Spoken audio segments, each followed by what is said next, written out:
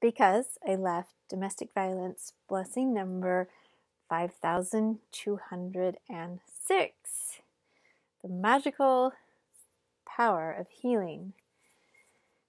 So, how many of you have ever been walking around, fallen, tripped, scraped your knee, or maybe broken a bone, or had to do stitches?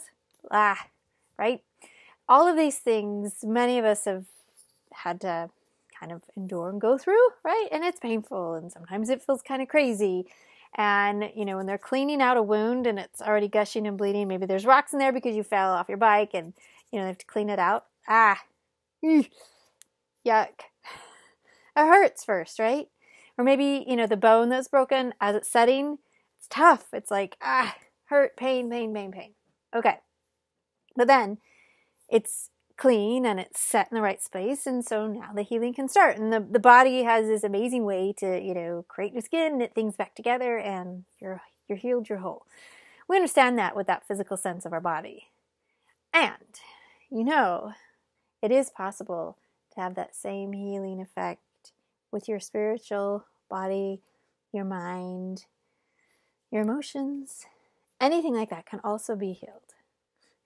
But which the fear is we know it's going to hurt. We know it's going to be painful. We know diving back into those wounds, diving back into those events, diving back into whatever triggers us.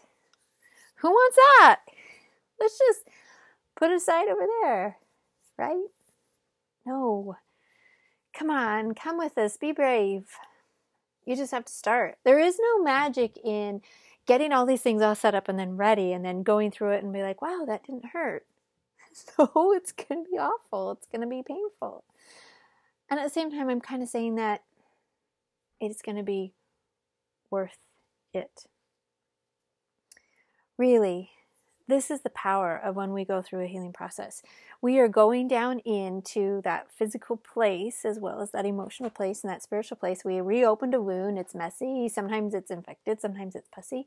It's terrifying. It's painful. But really the cleansing effect, the more we talk about it, the more we are able to discuss it, that gets the the depth of things get better and better. The the space between the pain gets easier and easier. And some people say, well, how do you overcome? It's with time. How do you overcome?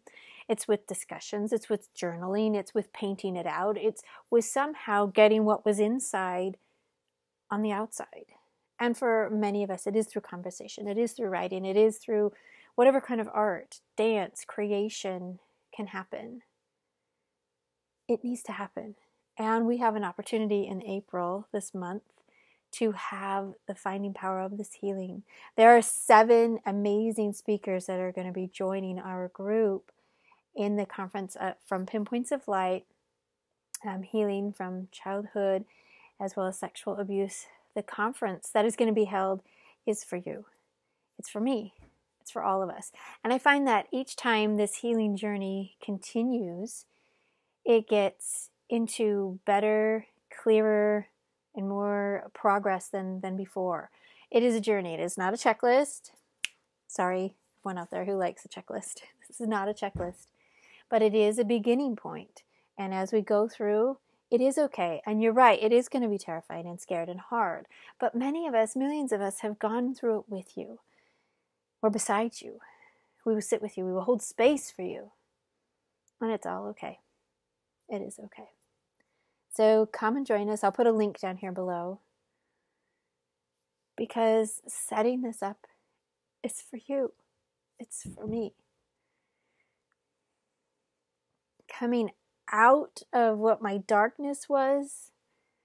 Wow, I never knew there was such light, and the amplification of that light, and then reaching other people with that light.